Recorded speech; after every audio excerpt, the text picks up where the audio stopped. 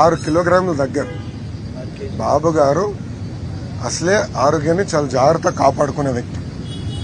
ఈరోజు ఈరోజు కూడా చూసా ఆరు కిలోమీటర్లు ఆరు కిలోగ్రాములు కేజీలు తగ్గారు. ఒక కొడుగ్గా నాకు బాధ ఉంటుంది ఆవేదన ఉంటుంది. ఇది ఎందుకు చెప్తున్నానంటే ఆయనకి హెల్త్ కండిషన్స్ బై బర్త్ ఉంది హార్ట్ కండిషన్. అది ఆయన జాగ్రత్తగా మేనేజ్ చేసుకుంటూ వచ్చాడు.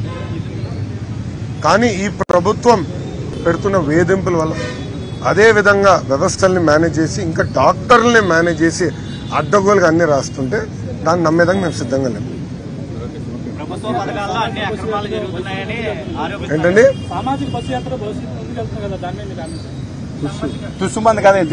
ఒక్క నిమిషం మాడాలి చాలా ఇంపార్టెంట్ అయిన విషయం. డాక్టర్ సారీ డాక్టర్ సుధాకర్ గారిని సస్పెండ్ చేసి చం- గుండుపోటు వచ్చే విధంగా చేసింది ఎవరు? జగన్. ఆయన దళితుడు.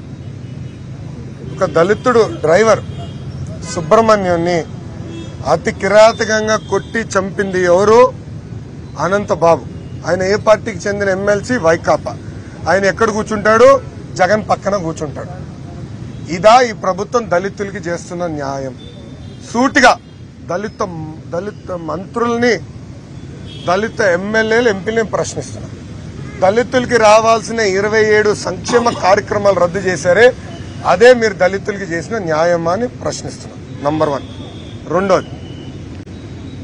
ఇస్లాంలో ఆత్మహత్య చేసుకుంటే మహాపాపం. అలాంటిది అబ్దుల్ సలాం వైకాపా వాళ్ళు పెడుతున్న వేధింపుల వల్ల ఆత్మహత్య చేసుకుంటున్నానని వీడియో పెట్టి మరి ఆయన ఆయన కుటుంబ సభ్యులు ఆత్మహత్య చేసుకున్నారు. ఇంకో పక్కన పలమనేరు చెందిన మిస్బా పదో తరగతి పాప అనుకున్నాను బాగా చదువుతుంది. వైకాపా నాయకుడు కూతురు సెకండ్ ర్యాంక్ వస్తుందని మిస్బాకి టీసీ ఇచ్చి పంపించేశారు. మిస్బా అది మొత్తం లేఖలో రాసింది. వీళ్ళ వల్ల నేను చనిపోతున్నాను. ఆత్మహత్య చేసుకుని చనిపోయింది. ఇదా మీరు మైనార్టీలు చేసిన న్యాయమా? మూడోది మా బీసీ సోదరుల గురించి కూడా చెప్పాలి. అమర్నాథ్ గౌడ్ కేవలం వాళ్ళ అక్కని వేధిస్తున్నారని వైకాపా నాయకుల కొడుకుని నిలదీసినందుకు అమర్నాథ్ గౌడ్ నోరులో పేపర్ వెయిట్ టెక్స్ట్ బుక్ అతను నోట్బుక్ కాగితాలు చింపి నోరులో కుక్కేసి బతుకుండగానే పెట్రోల్ పోసి తగలబెట్టారు. ఇదేనా మీరు బీసీలు చేస్తున్న న్యాయం? స్థానిక సంస్థ ఎన్నికల్లో బీసీలకి పది శాతం రిజర్వేషన్ మీరు తగ్గించారు. ఇదేనా మీరు బీసీలు చేస్తున్న న్యాయం? ఏసీ బస్సులో ఊరికే తిరుగుతే అన్యాయం న్యాయం అవుదండి వాళ్ళు చెప్పినంత మాత్రాన అన్యాయం న్యాయం అవదు. ఇప్పుడు నేను అన్ని నేను చెప్పింది కేవలం ఒక శాతం. ఇంకా తొంభై తొమ్మిది శాతం దగ్గర అన్ని ఆధారాలతో సహా ఉన్నాయి. నేను చెప్పిన ఒక్క శాతం కేసులకి వీళ్ళు సమాధానం చెప్పమని. అందుకే మేము నల్ల బలంతో నిరసన తెలుపుతున్నాం. ప్రభుత్వం ఇప్పుడు చేస్తున్నటువంటి అనేక సంక్షేమ కార్యక్రమాల్లో చాలా అవినీతి టీడీపీ దీనికి పోరాటం ఏం సిబిఐ ఆల్రెడీ మేము ఆల్రెడీ కొంతమంది ఎమ్మెల్యేలు చేస్తున్న అవకతవకల పైన నేను పాదయాత్ర చేస్తున్నప్పుడే ఈడీకి లేఖ రాశాను ఐటీకి లేఖ రాశాను దాని తర్వాత జరిగిన పరిణామాలు మీకే బాగా తెలుసు. ఎందుకంటే వాళ్ళు తప్పు చేశారు. అన్ని ఆధారాలతో అన్ని ఆధారాలతో మేము రాస్తున్నాం. ఆల్రెడీ సిఏజీకి లేఖ రాశాం. ఇసుక పైన సివిసికి లేఖ రాయబోతున్నాం. ఇట్లా వాళ్ళు చేస్తున్న అక్రమ మైనింగ్ల పైన కూడా పెద్ద ఎత్తున మేము పోరాడుతున్నాం. ఒక పక్కన ఇంకో పక్కన మేము ప్ర- కేంద్ర ప్రభుత్వానికి కూడా లేఖ రాస్తున్నాం. వాళ్ళ పార్టీకి చెందిన ఎమ్మెల్యేలే మా ఓడు తప్పు చేస్తున్నాడని చెప్పి మైనింగ్ ఆ మైన్ చూసేదానికి వెళ్తే బంధిస్తుంది ప్రభుత్వం. నెల్లూరులో చూసాం కదా వాళ్ళ పార్టీ ఎమ్మెల్యేలే బంధిస్తుంది. ఇంకేం చెప్పాలి? వాళ్ళ పార్టీకి చెందిన ఎమ్మెల్యేలే చెప్తున్నారు కదా అవినీతి జరుగుతుందని. ఇంకేం కావాలి? దానికన్నా ఆధారం. నన్ను అడితే స్వామి? నన్ను అడితే ఎట్లా స్వామి? సిఐడిని మీరు అడగాల? వాళ్ళు హాజరు అవ్వమని రోజు నేను హాజరయ్యా. మొదటి రోజు ఏం జరిగిందో చెప్పా. రెండో రోజు అయితే దాదాపు మూడు గంటలు నన్ను రూమ్లో వదిలేసి వాళ్ళు వెళ్ళిపోయారు. ఎందుకు? వాళ్ళు భయపడిపోయారేమో అనుకున్నా. అడిగేదానికి ఏం లేక వాళ్ళు భయపడిపోయి పారిపోయారు అనుకున్నా. నేనైతే అనుకున్నా. చెప్పా కదా మొదటి రోజు అడిగిన ప్రశ్నలే వాషింగ్ మెషిన్లో పెట్టి ఇటు తిప్పి అటు తిప్పి రెండు రోజు నన్ను అడిగాను నేను ఇక్కడనే ఉన్నా స్వామి నేను ఎక్కడికి వెళ్ళలేదు కదా. నేను ప్రజల్లోనే ఉన్నాను ఎక్కడికి వెళ్ళలేదు కదా. పార్టీ బలోపేతం కోసం నేను కష్టపడుతున్నాను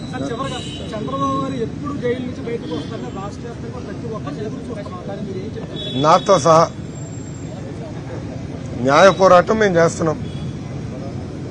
కానీ ఏ తప్పు చేయని వ్యక్తిని వ్యవస్థల్ని మేనేజ్ చేసి యాభై రోజులు జ్యుడిషియల్ రిమాండ్లో పెట్టొచ్చని మొదటిసారి నేను తెలుసుకున్నాను.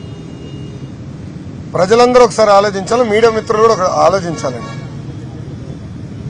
మొదటి రోజు నుంచి యాభై రోజు వరకు మేమేం తప్పు చేయలేదు. మేము రెడీగా ఉన్నాం. ఛాలెంజ్లు నేను ఇస్రా ఆస్తులన్నీ కూడా స్వచ్ఛందంగా ఎవరు అడగకపోయినా ప్రజల కోర్టులో మేము పెట్టాం. దానికన్నా ఒక్క రూపాయి ఉన్నా ఒక్క గజం ఉన్నా మీరు తీసుకోండి అని మేము చెప్పాం. మీరు గమనించండి. వైకాపా నాయకులు కానివ్వండి జగన్ కానివ్వండి ఆయన చుట్టుపక్కల ఉన్న బ్రోకర్లు కానివ్వండి జగన్ అవినీతి పరుడు కాదు అని ఏనాడు చెప్పరని. దయచేసి ఆలోచించండి. గమనించండి. ఎందుకంటే తెలుసు. మా ఆవిడ ఒక అవినీతి పరుడు ఈ జగన్ జగన్ ఒక అవినీతి పరుడు ఒక దొంగ అని వాళ్ళు తెలుసు. అందుకే ఎప్పుడు జగన్ కూడా నేను అవినీతి పరుడు కాదు అని చెప్పడు. వాళ్ళ మంత్రులు కూడా చెప్పరు. వాళ్ళ ఎమ్మెల్యేలు చెప్పరు.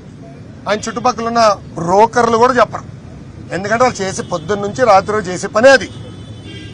అలాంటి వాళ్ళు వ్యవస్థల్ని మేనేజ్ చేసి పది సంవత్సరాలు బెయిల్లో తిరిగారు. తిరుగుతున్నారు. పది సంవత్సరం. వాళ్ళ ఎంపీ కేక్ కటింగ్ కూడా చేశాడు కదా ఢిల్లీలో. పది సంవత్సరాలు బెయిల్ మీద తిరుగుతాడు. సొంత బాబాయిని లేపేసిన వ్యక్తి కూడా బెయిల్ మీద తిరుగుతాడు. సిబిఐలు వస్తే పోలీసు వాళ్ళు అడ్డంగా ఉంటారు. మీరు వచ్చేదానికి లేదని ఆ స్థాయిలో వ్యవస్థలు మేనేజ్ చేస్తున్నారు. ఇంకేమైనా డౌట్లు ఉంటే వ్యవస్థల మేనేజ్మెంట్లో సమా ప్రశ్న ఉంటే సమాధానం చెప్పి నేను సిద్ధంగా ఉన్నా జగన్ లాగా పారిపోం మేము. ధైర్యంగా నిలబడి మేము మాట్లాడతాం. నేను అడుగుతున్నా మీడియా మిత్రులు జగన్ ఏనాడే ప్రెస్ మీట్ పెట్టాడా? నాలుగున్నర సంవత్సరాలు ఏనాడు ప్రెస్ మీట్ పెట్టాడా? సాక్షి బా? అడుగు సాక్షి ఏడి? సాక్షి ఏమ్మా జగన్ ఏనాడు ప్రెస్ మీట్ పెట్టాడా? ఏం టీవీ నైన్ రాలే ఈరోజు? ఏమైంది టీవీ నైన్? ఏడు మైక్ లేదు? మైక్ చూపిస్తానా మైక్ చూపిస్తానా భయం? ఏం బా? అడగండి ధైర్యంగా అడగండి స్వామి. ఊకే టీవీలో ఏదంటే చేస్తాం కాదు. మీ మేనేజ్మెంట్కి ధైర్యంగా ఉంటే స్ట్రైట్గా అడగమను ప్రశ్నలు. ఎన్టీవీ కూడా ఉన్నాడు ఎక్కడున్నాడు? నమస్కారం. టీవీ నైన్ వాళ్ళు ఏదంటే చేస్తున్నారు. మేనేజ్మెంట్కి కొంచెం ధైర్యం ఉంటే స్ట్రైట్గా ప్రశ్న అడగమను. సమాధానం నేను చెప్తా ఉన్నా ఇక్కడ. పార్పలా గుర్తుపెట్టుకోమను. థ్యాంక్ యూ బ్రదర్ చెప్పా కదా చెప్పే చెప్పే చెప్పినాడు ముందు నేను చెప్తాను నేను చెప్తానమ్మా నేను చెప్తాను నేను చెప్తాను?